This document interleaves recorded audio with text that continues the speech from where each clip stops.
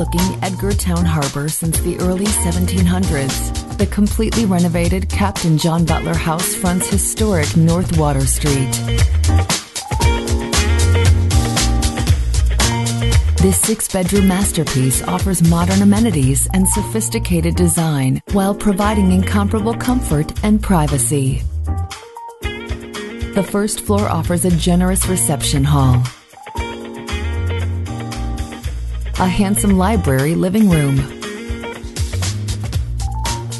a formal dining room, and a large eat-in family kitchen with seating area, fireplace, and television.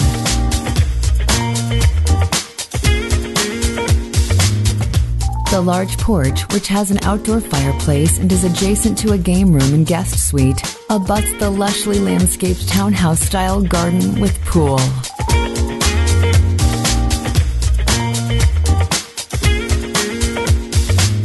Moving to the second and third floor, there are four bedrooms with adjoining baths, including the richly appointed master suite with sitting area.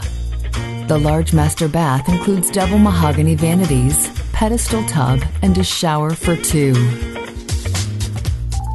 The third floor Chappy room and the rooftop widow's walk offer panoramic views of Edgartown Harbor, Chappaquiddick, and the Atlantic Ocean.